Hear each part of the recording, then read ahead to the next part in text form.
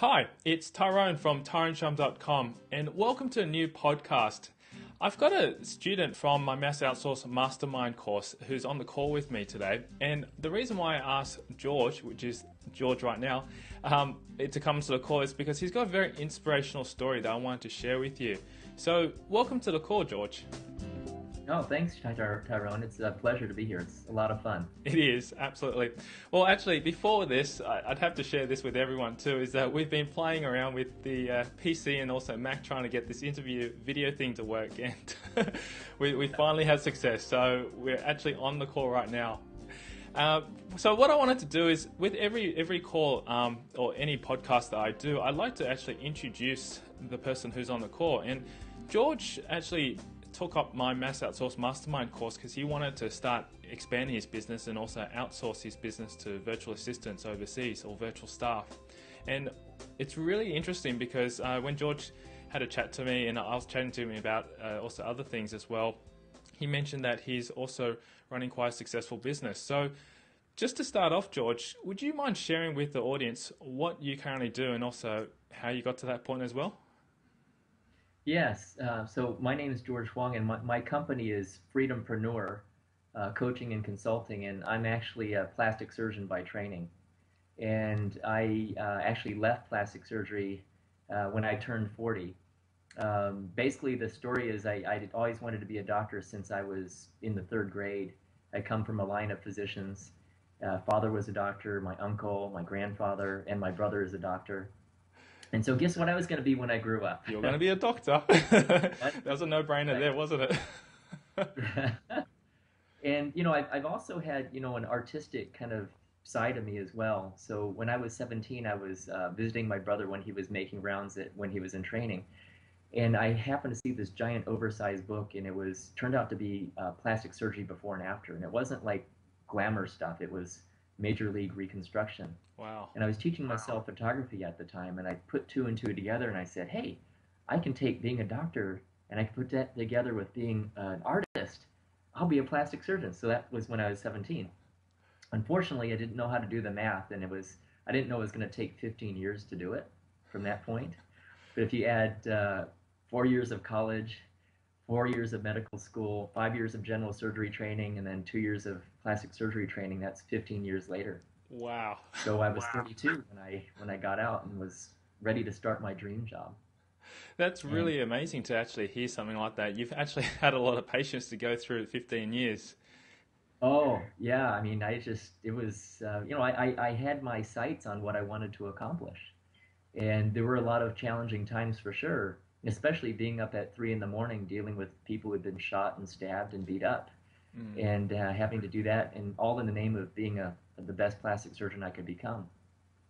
So keeping my eye, you know, my sights on that vision, both mentally, emotionally, um, spiritually as well, helped me to get through the, the physical and, and other challenges that were involved in, in going through all that. And that, that has really carried over into what I do now in, in terms of helping entrepreneurs. But uh, basically, to get back to my story about being a plastic surgeon, I, I got out of training at the age of 32, and I was just thrilled to have my dream job. But within two years, I was nearly penniless, and some of my business advisors actually recommended that I declare bankruptcy as a viable option. And I thought, you got to be kidding me!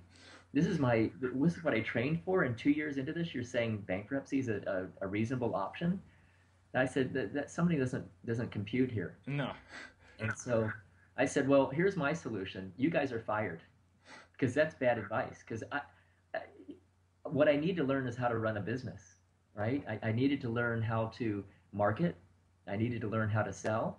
And actually, I was very, very angry that I had to learn to do these things because I figured it was going to be just, you know, like my brother. You know, he just got out of training, started up in practice, and took off.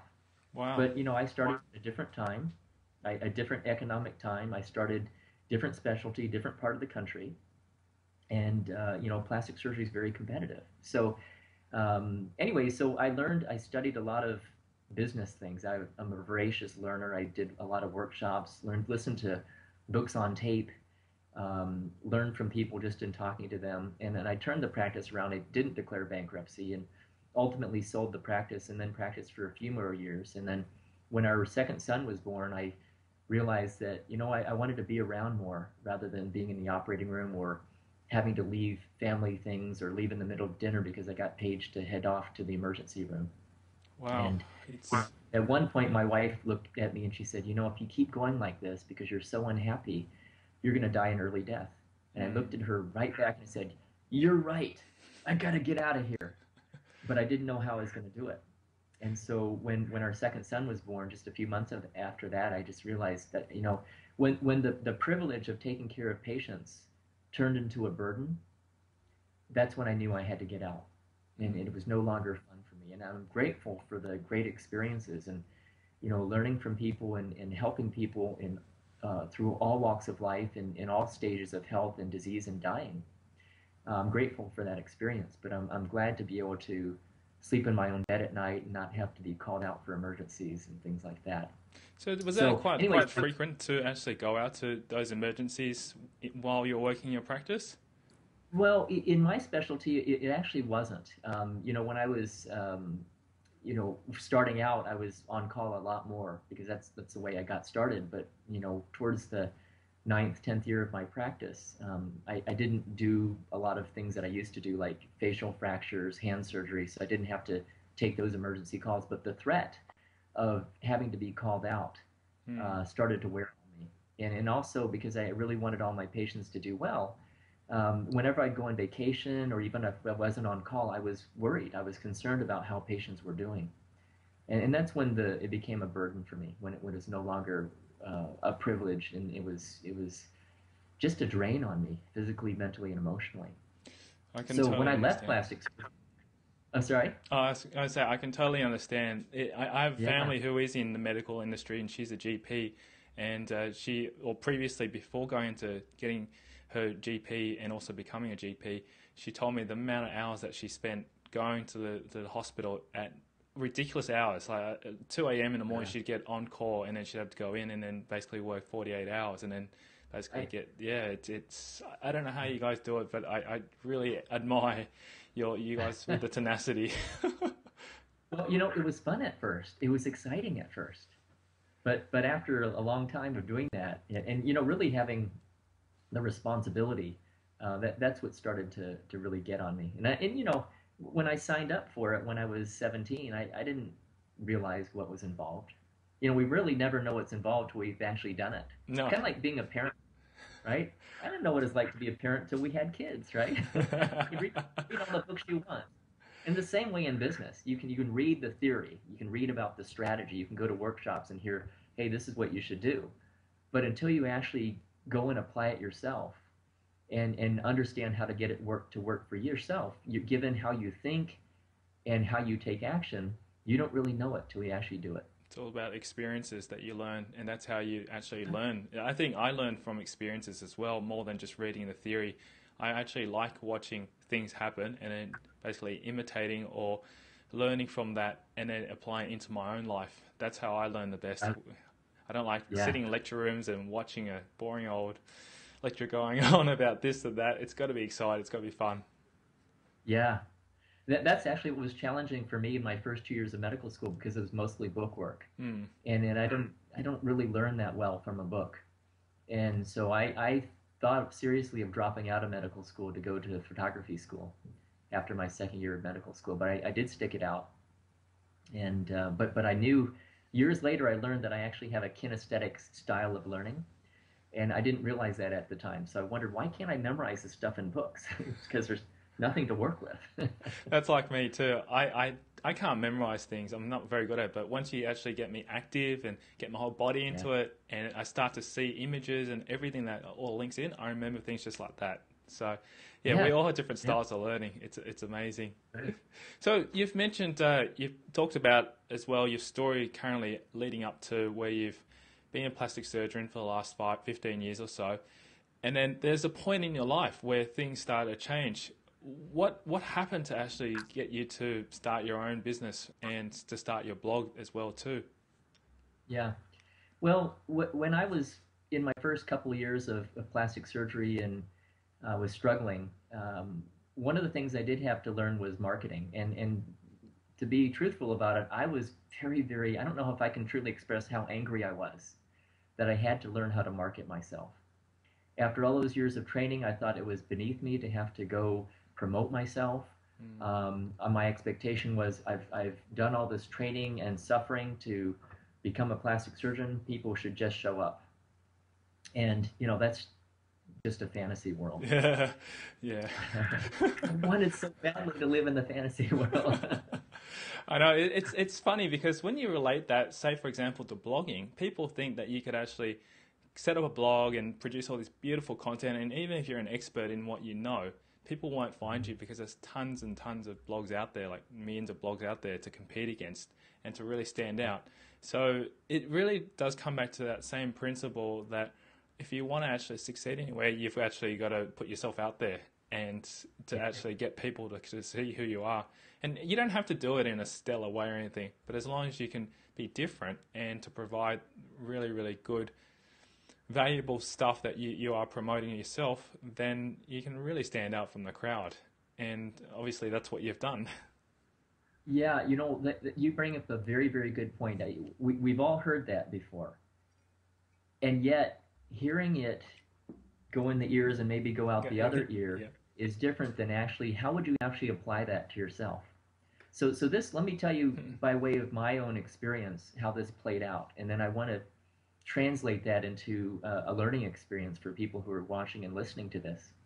So, when I left plastic surgery, I was 40 years old, and I did not have a plan for what I was going to do. And but I left. I mean, my wife and I knew it was it was just the time to leave. And so for the first year, you actually first year and a half, I wandered around. I started three different businesses that didn't work. I was going to lead workshops and seminars on different topics, like teaching people, uh, teaching young people um, how to be financially aware. Mm. That didn't work out very well. And then I was going to teach people how to lose weight because I knew a lot of that about that from being a, a surgeon and a physician. I figured out I, I didn't want to do that. I was just doing that because technically I knew how to do it, and it just wasn't something that made my heart right, passionate, right? So I stopped doing that, and then I like, oh, what am I going to do? So I, um, the timing was such that I, I, when I left, right as I left plastic surgery, I was part of a business book called "Create the Business Breakthrough You Want," and there were some celebrity authors that you probably heard about: Mark Victor Hansen, uh, Robert Allen, Brian Tracy. And I wrote a, a, section in this book, and not knowing what the heck I was going to do with the book, because I'm thinking, what's a plastic surgeon doing in this business book? Like, it makes no sense. But, but I did write, I wrote about your health being the foundation of all wealth. And so what happened when the book came out is a couple of local uh, companies found out about the book and they asked me if I could coach them in their business. And so I said, well, yeah, I, I, I could do that, you know, while I'm figuring out what I'm going to do when I grow up. Yeah. so so I coached them, and within two weeks of coaching them, I realized, you know what? I know a lot about business. This is a lot of fun. I, I should do this for, for a, profession because I realized that I knew a lot about business operations. I knew about a lot about leadership and management and building a team. I knew a lot about um, marketing. I knew a lot about selling, and I knew a lot about how to package services and products and programs and I, I just that was just part of what I had to do to survive as a plastic surgeon. And so I said, okay, well, I'm going to do this. So um, now the problem was doing this professionally is, first of all, I didn't have the quote credentials. In the United States, I have a degree after my name that has the initials MD. And I was joking around with you, Tyrone, that that stands for mostly disappointed with the healthcare profession, right? and I said to you, no, that's not true. But so, but I didn't, I didn't have an MBA. Nobody knew me as an entrepreneur. Um, I didn't have a, a, a, network. I didn't have a, a contact list of people who knew me as an entrepreneur, and I didn't have a mailing list for sure. I didn't have an easy, and I had no website. Mm. So um, I, I, was just like, oh, what do I do now? So I started trying to call people up and get uh, free consultations. And after 30 days of just tireless, tirelessly calling people, I had this many uh, free um, sessions to do. So I looked out the window, just like I'm sitting here. I looked out the window. I said, "Gosh, you know, I know in my heart, I have an unshakable belief Mm. that I have something valuable to offer people. They just haven't found me yet. Exactly. So I said, okay, right? So I said, okay, what, what would be a way they could find me? And I said, what, what's one of my strengths? And one of the things I really enjoy doing is speaking in front of an audience. So I said, ah, I should do a seminar. And I said, okay, great. Well, who's going to come? I don't know anybody. so, so I decided to do a seminar four weeks from that day. And the reason, and usually, you know, you should plan, have more planning time for a seminar. Four weeks is not very much from time to plan anything, actually. Oh, but I was running out of money. running out of money. My wife said, "What's your backup plan?" I said, "You're looking at the backup plan." But but realistically, I, I well, one backup plan I did have. I did have a contract to uh, go back to plastic surgery, go back to the dark side for me. You know, I just didn't want to do it. And it was in Beverly Hills, which you know a lot of people would go, "Wow, that's like, how can you turn that down?" Well, I did. so what I did is I, I said, okay, I'm going to do this workshop. If it doesn't work out, I'll have to go to Plan B. And um, what I did is I, I took the first two weeks to get a one-page website together just for information. It was essentially my flyer for the for the workshop, Mm. and uh, getting the shopping cart set up because I wanted it to be automated. And um, I didn't realize it was going to take me two weeks to get this all together, and put the flyer together. And then so I had two weeks to promote the thing, and I freaked out. I said, "Oh my gosh, how am I going to invite people? I don't have enough time to do this." So I canceled the workshop. And then I sat there twiddling my thumbs for a day and a half. And then I said, ah, what am I going to do now? And I realized, you know, if I said, if one person shows up to that workshop and they become a client, it's a grand slam home run. And so I put the workshop back on. And what I did for the next two weeks is I went to every single networking breakfast I could find.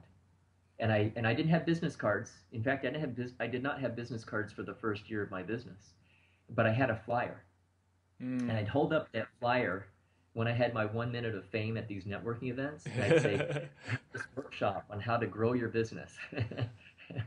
if you're interested in attending, it's twenty five dollars and blah blah blah, and that was it. And so that flyer was my business card. So eighteen people signed up. wow, online. that's awesome. Right. I mean, not online. They went to my website, my one page website, to register, and then 19 people showed up. And um, from that workshop, uh, sorry, so from 73 days from the date that I conceived of that workshop, I got enough private coaching clients that I had a uh, an annualized recurring revenue stream of over $100,000. In fact, my monthly revenue stream was exactly $10,500 because Wow. I had people on 12 month contracts they were on. So that's how I got off to a rip roaring start. And you know, I, I didn't think much of it at the time. I just thought, okay, good, this this is working. I, I can do this. I can grow this. Yep. It wasn't until two years later that I realized that I had done something extraordinary. Because I, I was a guest at a coach's workshop and people were just excited for me to show up and I was thinking, whoa, what what are you so excited about? How did you do this? Don't you realize that most most coaches and consultants don't make a make a full time income doing this? I'm like, well, no, I didn't know that. Because you know, a lot of people. I, I mean, I never went to a coaching academy. Mm. I learned really how to coach and how to listen and ask questions from being a physician, and and being a student of life. Really, you know, more than being a physician. Um, because there are a lot of physicians who don't ever learn the art of, of learning of listening and asking the right questions. That's so right. I uh, so I realized, oh wow, I, I guess I did do something extraordinary. Uh, I was just doing it so I didn't have to go back to plastic surgery, and so I could I could do something really I'm passionate about. And Isn't it, it's usually something like that with the motivation that really drives you through because you mm. know your wife's saying, "Come on, honey, you got to make some money so that you can, you know, we're running out of money." So it's that motivation of either fear or wanting to grow or Yeah. really just you got nothing to turn back on really to be able to make those changes. And Yes. obviously, when the push comes to shove, we always seem to make a change in our life to do that. Yeah, and, and that's a critical thing to learn, especially when people are looking to grow their businesses and accelerate. I always tell people you've got to focus on what is it that you ultimately most want to accomplish in life Hmm. and, and through your business, but in your life. and and this has to be something that you're super like ultimately passionate about. And I knew that I wanted to help entrepreneurs. I didn't want to. I, I had done as much contribution as I could through plastic surgery, and I just felt like intuitively felt that um, this was the right direction for me. So there was a burning fire to be successful, Hmm. and that, that's really what it took. Can I ask you, George, when when you actually like taking a step back, you successfully ran that seminar and you had how many people exactly again? 20, 19 people Ni- in ni- the room. 19 people that came across. So before you actually got those 19 people, how many people or how many breakfast business morning breakfasts that did you actually attend to to be able to actually get those people come through? Was it over the two week period that you did that? Two week, period. Yeah. So I um, so I had essentially ten business days, and so I probably went to let's see, probably about eight or nine uh, networking breakfasts. Okay. And I, I even went up to the very day before the, the workshop. I remember attending a breakfast, and uh, a couple people from that very last day showed up. And and the other thing I did do, they didn't all come from networking breakfast, but I also called people I had called before to where the people I had called to invite to a strategic session. I called them back and I said, um, I know you you know this is kind of short notice, but I'm running this workshop on how to accelerate your business growth. Are you interested in attending? And some people could come and other people couldn't. And for the people who couldn't come, I said, well, do you know anybody who might be interested in coming? Yeah. And actually, I had some people who sent other people who who eventually became private coaching clients. That's amazing, isn't it? Sim-. Simple question of asking for referrals can really make a huge difference. Exactly. And how how much did you charge to uh, for these people to attend this first workshop? It, well, the on the flyer it said twenty five dollars, but if they were quote early bird, which I don't even remember what the early early bird is probably like a day before or something like that. but it was fifteen dollars if they came the day before. Okay, so really the the workshop. Would you say that first workshop was just basically either to cover the cost to to have these people coming through, and then really to to show them what you could really do on that one? Was it a one day workshop or It was a three hour workshop. three hour Three-hour workshop? And then Yeah. And then from that three hour workshop, you're able to uh, offer a product or offer your your services as a consultant to help them grow their businesses. Exactly. Yeah. And so, you know, the reason I charge because one might say, you know, maybe you shouldn't have charged for that workshop, but I did that on purpose because I wanted to charge something nominal, not something that would break the bank, but I wanted to use that as a filtering mechanism. Yes, So absolutely. people who came, they were serious. Yeah. They had had skin in the game, even though it was fifteen dollars. Right. Yeah, that's the thing. It's it's a it's a it's a smart marketing strategy is just to filter through buyers who are serious. Like if they're willing to spend one dollar, even just to put a bit of money on the table to see what your services are, they're not going to obviously jump out and, and forget about it.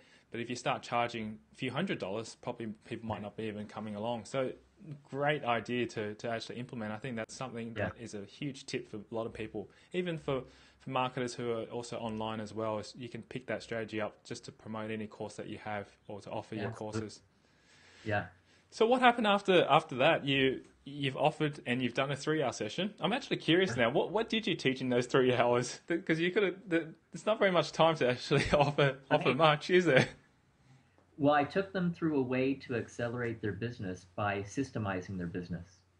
See, what most people do is they get busy, and they uh, there are a lot of different tasks that need to be done, but uh, they don't necessarily document what those operational systems are. And see, a system, in order to be truly called a system in my book, it has to be something that's documented, meaning that you can retrieve it in a Word document, or uh, it, it might be documented in a video, or it could be documented through audio or uh, PowerPoint. Just it has to be retrievable by somebody. Yep. And it has to be detailed enough so that if somebody with a baseline level of skill, experience, and expertise could take that documentation, walk through it, train themselves in most of what to do without with minimal outside kind of help, they should be able to produce decent results, at least minimally satisfactory results. That's my definition of a system.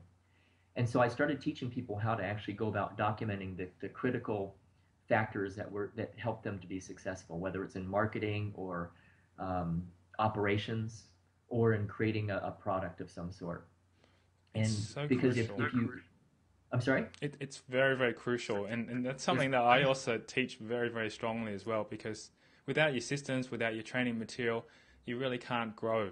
You really would be spending a lot of time training other people independently. Whereas if you've got, say, videos or documentation, you can easily pass it on to anyone else who comes onto your team or your business just continues to grow. Th- That's that's your whole model. That's all the videos that you've, you've been training us in, right? Yeah. Absolutely. I did have clients a few years ago. I had a client who was running a print shop, and they had all this complex machinery, and they said, "How, how are we going to write all that down?" I said, "You know what? Get a video camera and shoot the video." He Yeah. said, "Okay, I'll do that." Then he took it one more step. So instead of sending this video off for transcription, he'd have this initial set of employees watch the video, and then they would have to document the key steps and put them in a checklist. that that really is amazing to do that because then they're both learning and also he, they're doing the work for him too to create the documentation. right? So, and you you have a variation of that. You have your assistants, you know, do the documentation, right? Yes. In this case, he was having his his on-site staff do the documentation. So that that's what the workshop was about, and it gave people enough of a flavor of my style, my personality, my approach, and so that they were interested in in a strategic session that I offered afterwards, and and I offered it at, for free.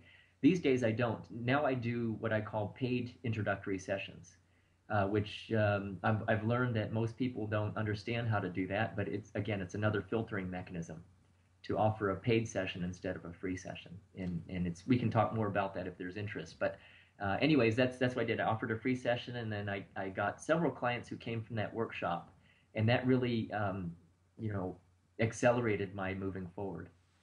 wow, that's really interesting. Did did the seminar or setting up the webinar, sorry, seminar, cost you much Yeah. to do, like to hire the venue and to get your microphone? And and did you did you record it as well too?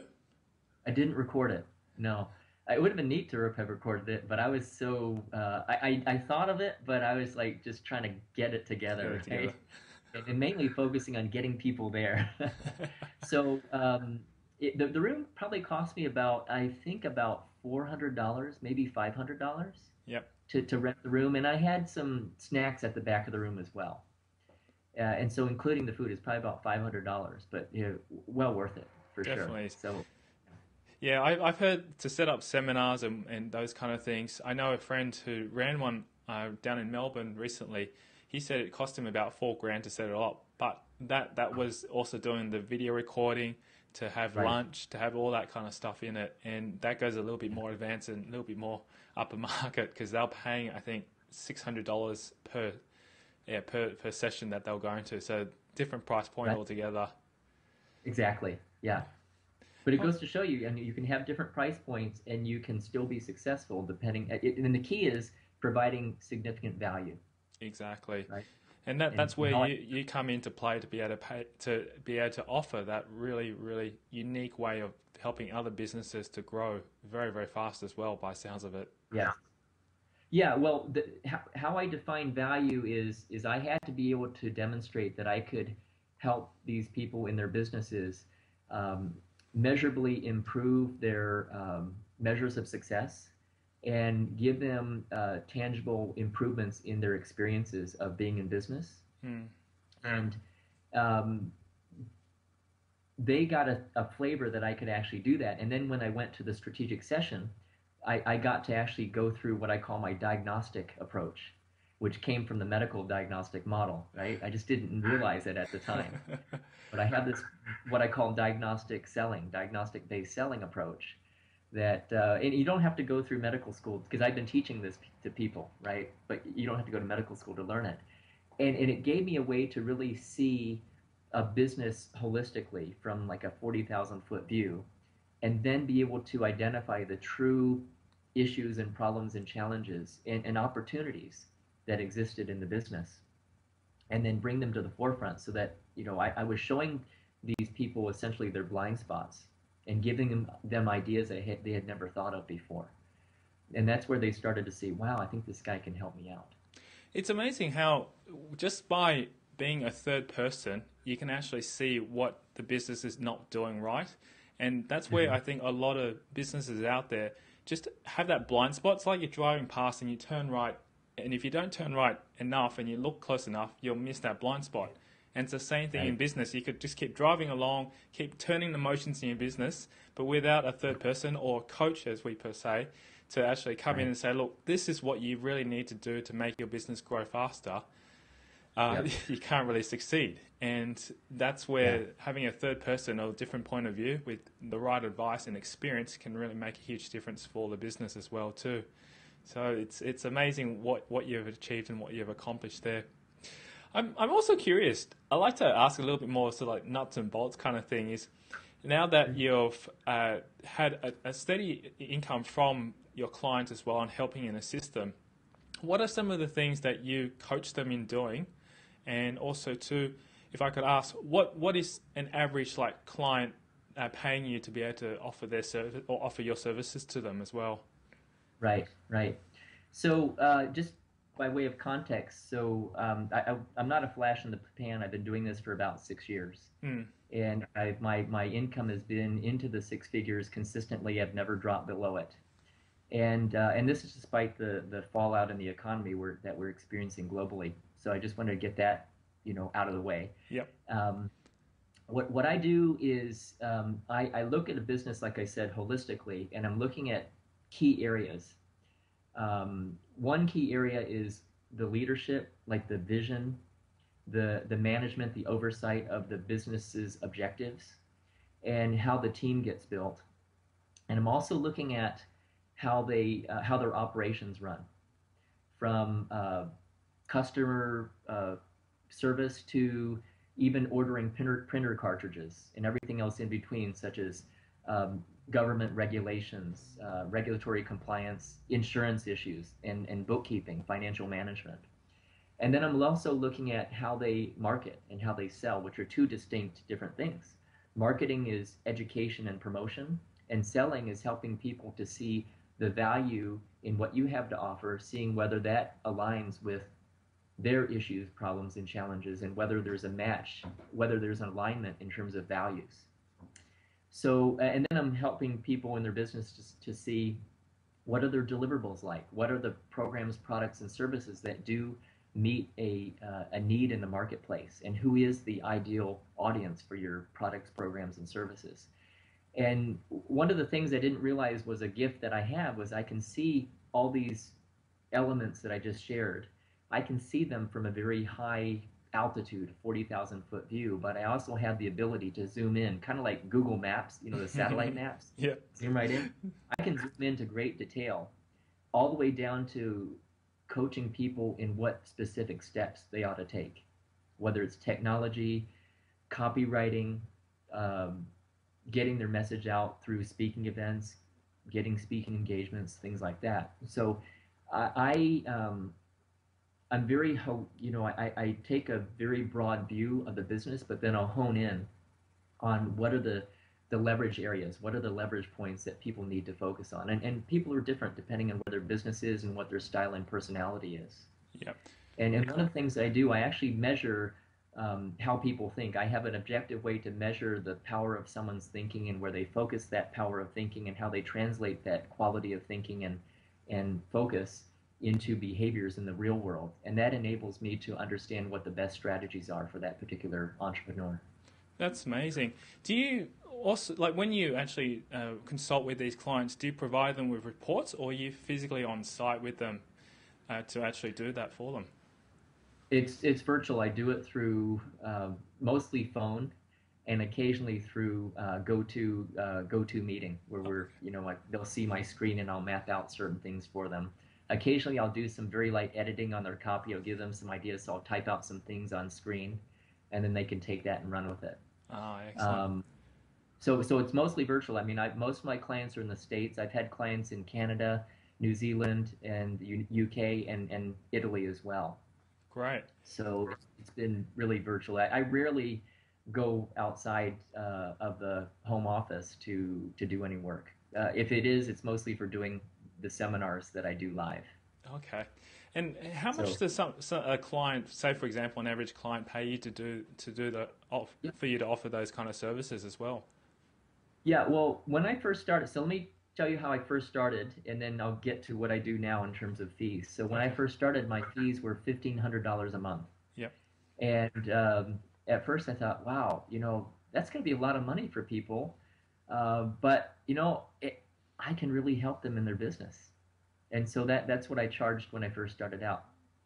Over time, I raised my fees, and I got up to eighteen seventy five a month for the typical client uh, sorry, actually, I got up to twenty two fifty a month. I went 1500 1875 then twenty two fifty a month.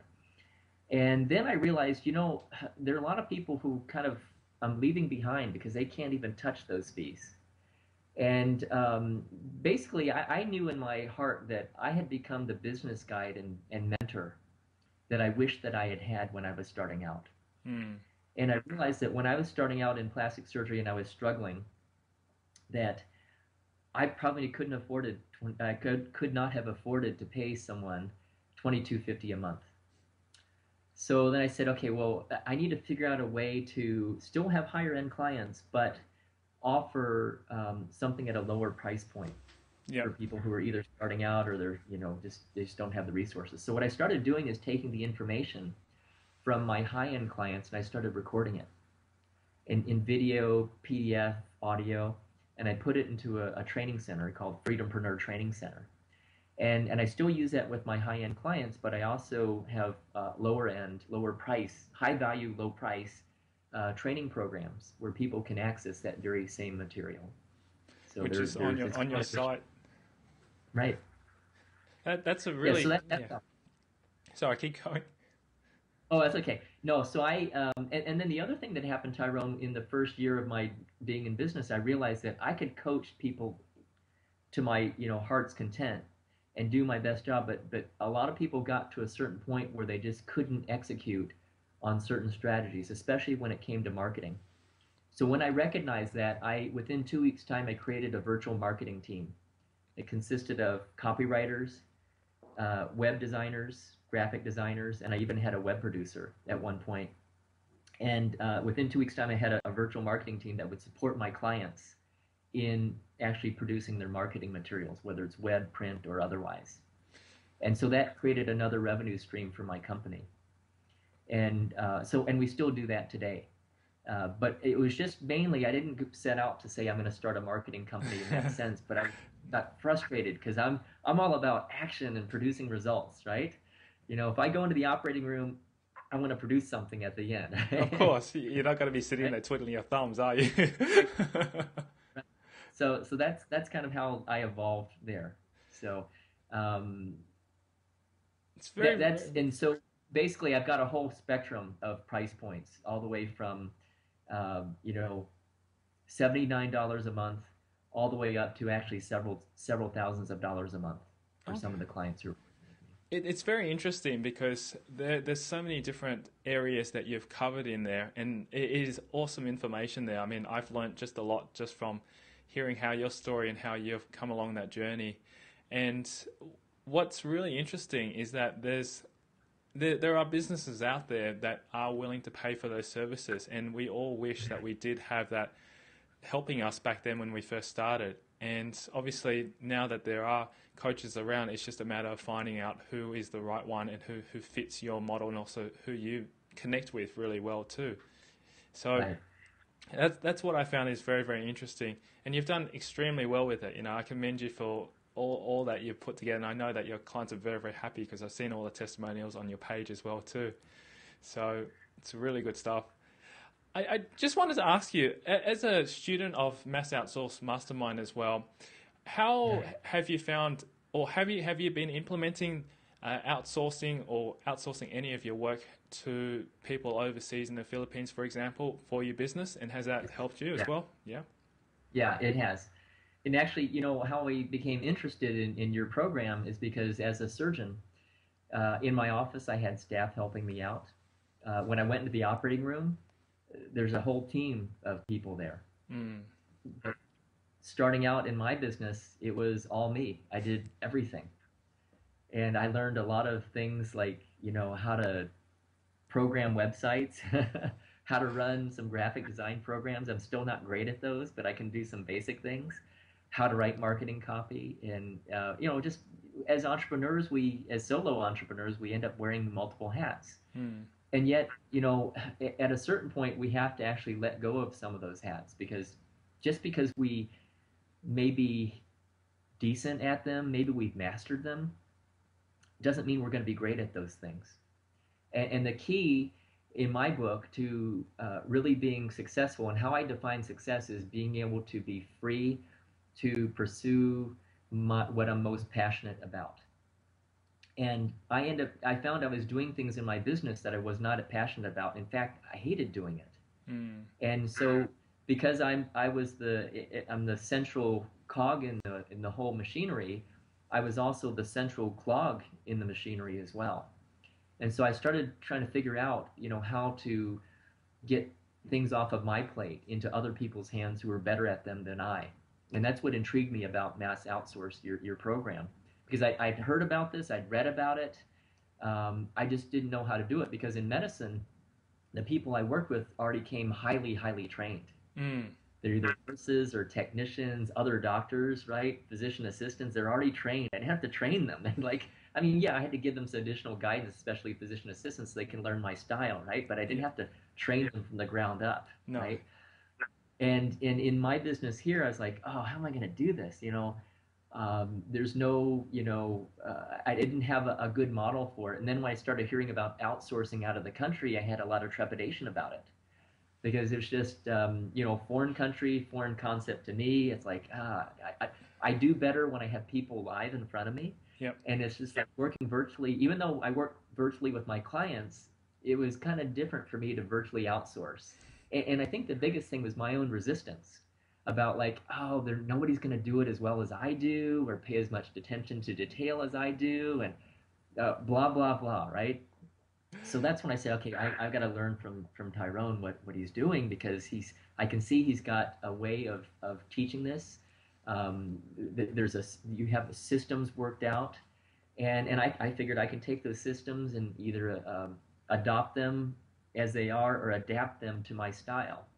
And so I, I've been on a fairly steep learning curve. Um, it, it hasn't worked, you know, like textbook I've had some problems, uh, as you as I've shared with you uh, in other in other conversations, with finding people who can be reliable um, and who can actually deliver uh, on time to specification.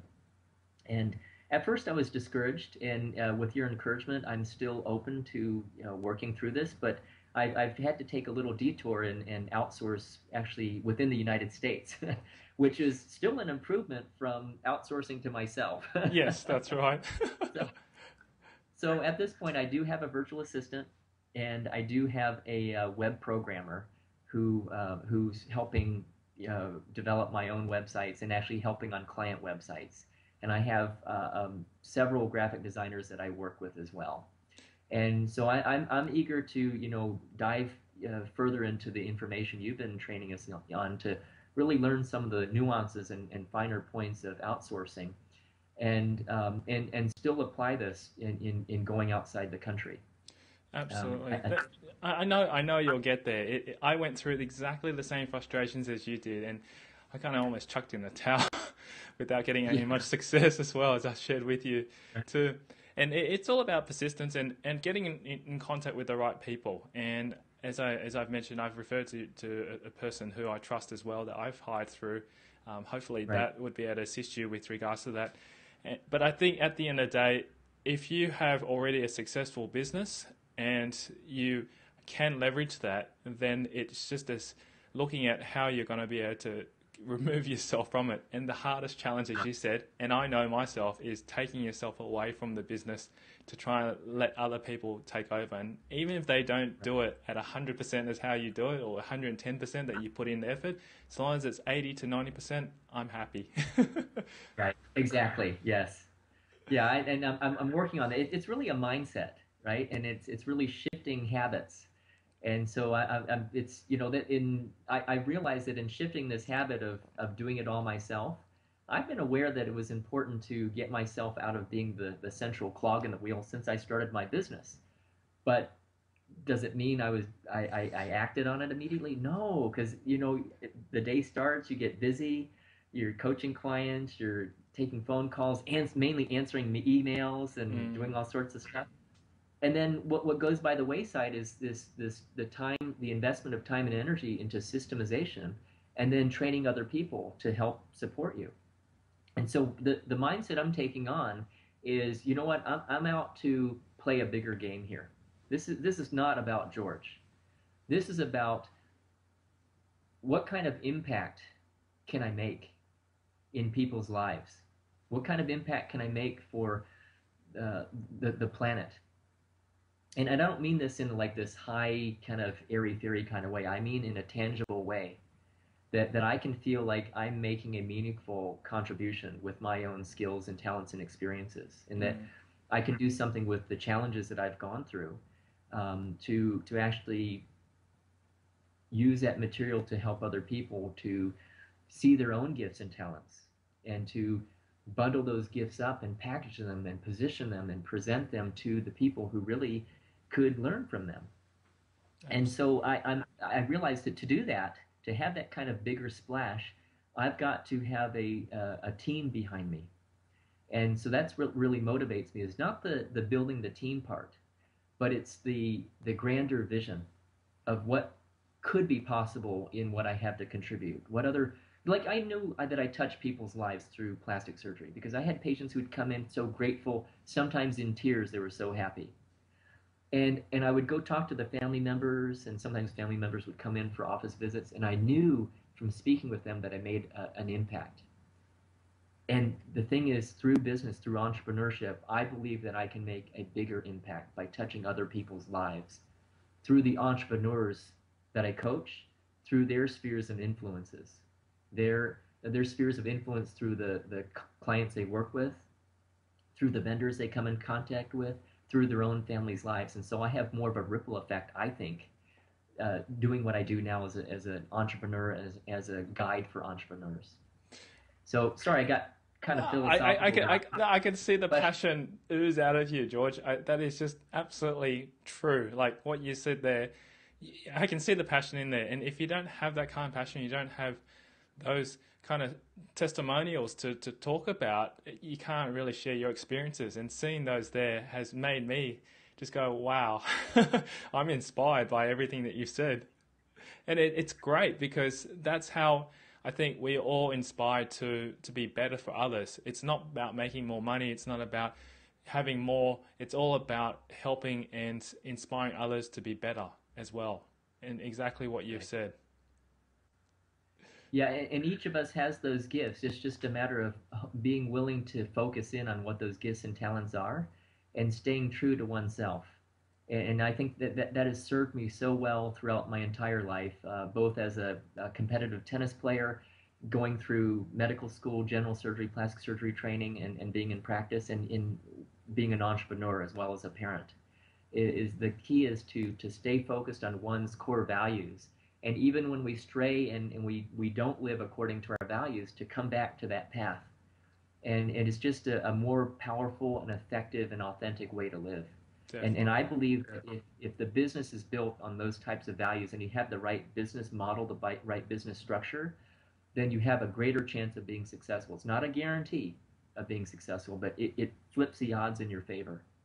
Yep, and it, it's it's really all about that. You've really you really hit it the nail on the head. That's excellent.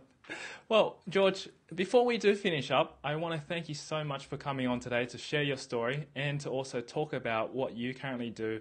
And I know that a lot of people who are listening to this call have learned a lot. I mean, I know myself, I've learned so much from you, and there's so many different ways we can go about out there on online to be able to make money and also help others as well too. Before we go, how can people get in contact with you? And if they're also interested in your products and also services, where can they find them as well? Right. The the place to go is my website, which is freedompreneur.com, and that's spelled that's spelled freedom followed by P R E N E U R dot com. And on my site, you can see you'll be able to navigate to the products and training section. And where I want to direct your attention is to go to the free training section.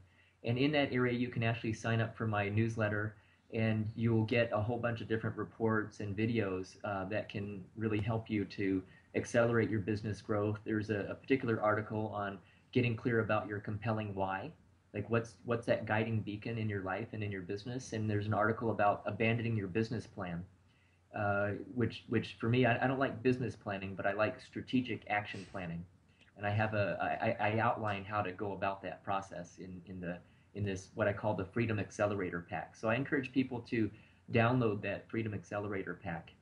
And, uh, and then you can check out some other things on my site. Um, as part of the ezine, what I'm planning to do in this coming year is to uh, run a, um, uh, a webinar uh, at least once a month. I've been doing them kind of sporadically, but I'll, I'll run them once a month. And we're going to cover a whole bunch of different topics from uh, marketing to um, selling to uh, how to use paid introductory sessions instead of. Uh, sorry, we're getting my network printer. Yeah, and automatic automatic printer. so we're going to talk about um, marketing or, or, paid introductory sessions and when when are the appropriate times to do that. I'll be definitely talking about my upcoming book, the, the topic of which is uh, diagnostic selling, how to apply the medical model of diagnosis to selling. And, and the current working subtitle is uh, uh, that it's Diagnostic Selling, a practical guide for change makers who are allergic to sales. And I teach people how to kind of sell without selling, which, you know, as a doctor, I didn't sell, but uh, I learned how to from being a doctor actually by, by making the right diagnosis, right? So, so there is a there is a way that this is directly transferable to business, and uh, so people on my ezine list will hear about that, and uh, you know, and then I, I, I I'm just uh, so interested in a lot of different things. I, I like to teach people about technology as well. I, I did a webinar the other month on the actual nuts and bolts of getting a WordPress site, uh, self-hosted uh, web, WordPress site working. Um, there's a lot of misinformation out there on the web, so I just decided, you know what, I'm, I'm tired of that. I'm going to give people the best practices. Yep. So I, I'll yep. be doing webinars on, on certain pieces of technology as well. That's excellent. Well, there's a lot of really, really good training material there, and I'd highly recommend checking it out as well too. And uh, definitely sign up to George's newsletter too. So, thank you so much for coming on today, George. It was an absolute pleasure to do the interview with you, and I, I can't wait to check out and see what's happening in the future for you, and also come up onto your webinars as well too. Fabulous. Yeah, I just it's been a lot of fun. Even the the technical problems we had before we got on here. That was kind of fun to work through it. And I look forward to you know uh, you know learning more from you, working together with you, and just you know developing our relationship. I think that uh, it, it's just been a lot of fun, and I realize that we connect on a lot of different levels. So thanks for uh, inviting me to do this and, and having this chat. Likewise, I, I yeah, we, we have some kind of great connection, so it's great to be able to meet you and also get yeah. you on the call. So thank you again. Thanks again. Thank you.